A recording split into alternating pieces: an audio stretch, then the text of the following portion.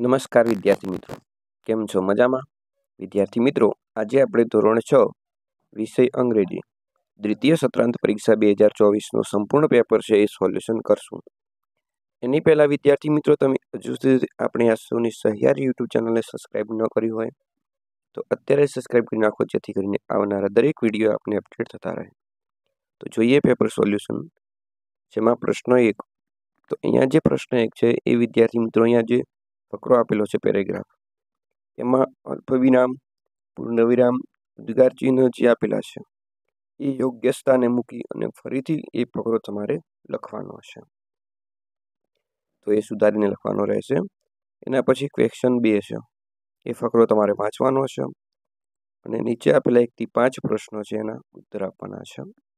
જેમાં પ્રથમ જે પ્રશ્ન છે વેર વોઝ ગીતા ગોઈંગ તો અહીંયા આપેલું છે કે Geeta was going to the school. એના પછી બીજો છે ડીડ ગીતા નવ, સ્વિમિંગ. તો યસ, ગીતા નવ, સ્વિમિંગ. ત્રીજો પ્રશ્ન છે, Shyam saved Geeta true or false એટલે કે સાચું છે કે ખોટું છે? ટ્રુ ઓફ ફોલ્સ તો ફોલ્સ એ સાચું છે.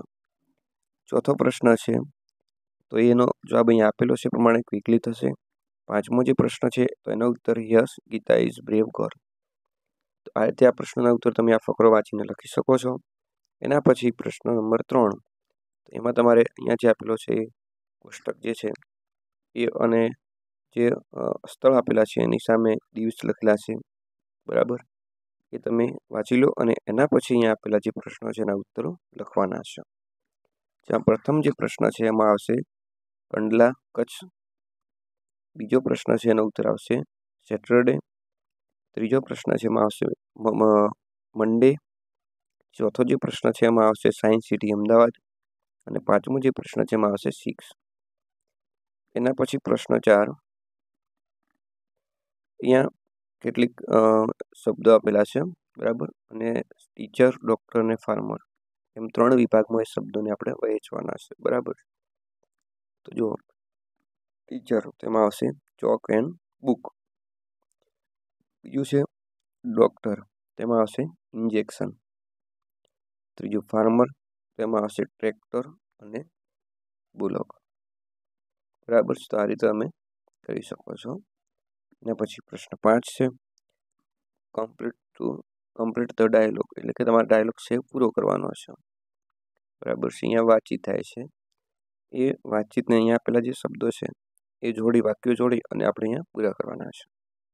જો આ પ્રથમ છે સી ગુડ મોર્નિંગ રાધે એટલે રાધે બોલે છે ગુડ મોર્નિંગ બીજું છે એ શિવ કહે છે may I take your pen take I take your pen તો જવાબ આવશે યસ ઓફકોર્સ યુ માય ત્રીજો જે પ્રશ્ન છે Shiv thank you if you don't mind may I take your book એટલે રાધે બોલે છે sorry I am reading it now એટલે પછી શિવ બોલે છે ઇટ્સ ઓકે તો આ જે તમે ખાલી જગ્યાઓ છે, પૂરી શકો છો એના પછી ક્વેશ્ચન છ. અહીંયા કેટલાક વાક્ય આપેલા છે, એમાં ખાલી જગ્યાઓ છે. અને અહીંયા જે કાઉન્સની અંદર એક આપેલા છે શબ્દો, એનો ઉપયોગ કરી આ ખાલી જગ્યાઓ પૂરવાની છે. તેમાં જોઈએ એક ધ બુક ઇઝ ખાલી જગ્યા ધ બેગ તો આવશે ઇન ધ બેગ બરાબર છે. ઇન એટલે અંદર, બે ધ ક્લોક ઇઝ ખાલી જગ્યા ધ વોલ એટલે કે ઘડિયા ઘડિયાળ છે વોલ દિવાલની ઉપર છે એટલે ઓન થયો. ઓન આવશે, બરાબર છે. ત્રણ, તો એમાં જવાબ આવશે નિયર ચાર, એમાં જવાબ આવશે બિહાઇન્ડ અને પાંચ એમાં જવાબ આવશે એટ આ રીતે તમે આ ખાલી જગ્યાઓ છે પૂરી શકો છો, વિદ્યાર્થી મિત્રો. એના પછી ક્વેશ્ચન સાત જોઈએ. જેની અંદર અહીંયા જે આપેલું છે, એ કાવ્ય પંક્તિ છે, એ પૂર્ણ કરવાની છે. તો બે લીટી છે અહીંયા આપેલું છે. બરાબર છે. પ્રમાણે તમે પૂરી કરી શકો છો. મિસ્ટર શિપ મિસ શિપ અને મિસ ગોડ મિસ ગોડ છે.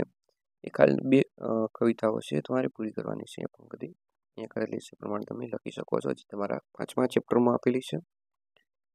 એના પછી ક્વેશ્ચન આઠ જોડકા જોડવાના છે. એ અને બી આપેલા છે સામસામે ટુ તો સામે આવશે સેકન્ડ નાઇન તો નાઇન્થ એઇટ તો eighth one first and three તો થર્ડ તો આ રીતે તમારે જોડકો જોડવાનો છે. એના પછીનો છે પ્રશ્ન નવ.